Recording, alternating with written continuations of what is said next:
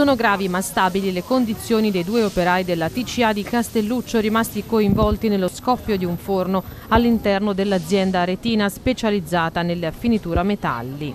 AR di 34 anni, TS di 41, entrambi di Arezzo, sono ricoverati al centro grandi ustionati di Cisanello a Pisa. La prognosi rimane riservata, il 41enne desta minori preoccupazioni, è ustionato nel 30% del corpo, il 34enne invece ustionato nel 60-70% del corpo. Verrà sottoposto presto ad una delicata operazione chirurgica, entrambi però non sono fuori pericolo.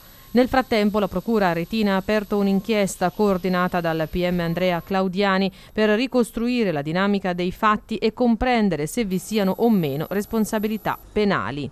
Vigili del fuoco e ASL hanno eseguito i dovuti accertamenti. Sotto la lente ci sono le misure di sicurezza adottate dall'azienda. Numerose le testimonianze raccolte in queste ore dai carabinieri del Comando Provinciale di Arezzo. Un incidente di questa gravità in 40 anni di storia di questa azienda non si era mai verificato, ci aveva detto il sindaco di Capolona Alberto Ciolfi, arrivato sul posto appena avuta la notizia.